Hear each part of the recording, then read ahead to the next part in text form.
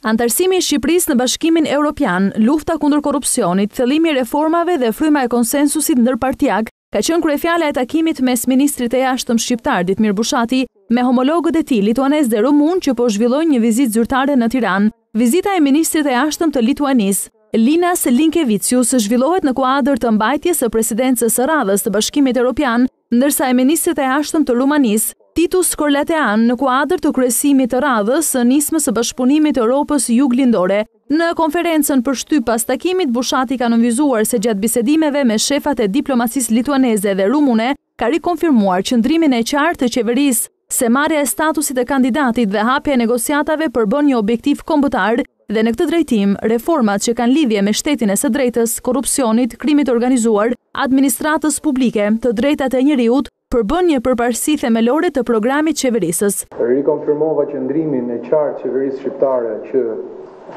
statusi i vendit kandidat dhe fillimi i bisedimeve për anëtarësim përbën një objektiv kombëtar.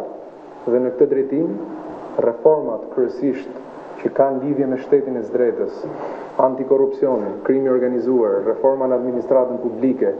dhe liritë dhe drejtat themelore të njeriut, përbëjnë një përparësi kryesore të programit të ri qeverisës. Ndërsa ministri i Jashtëm i Lituanisë, pasi ka vlerësuar procesin e zgjedhjeve, ka nënvizuar se dialogu ndërpartiak është mjaft i rëndësishëm për integrimin e vendit. Diskutuam me ministrin për nevojën për zhvillime të mëtejshme në fusha të ndryshme si për shembull në luftën kundër korrupsionit, në shtetin e së drejtës, në luftën kundër krimit etj.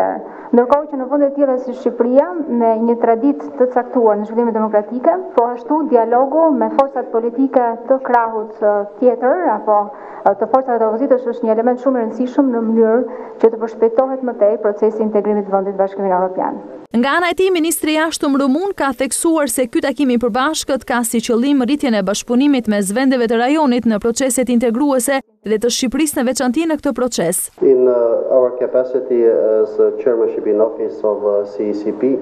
Romi. Në kuadrin e drejtuesit të Procesit Bashkëpunimit të Europës Juglindore, Rumania shpreh angazhimin e saj dhe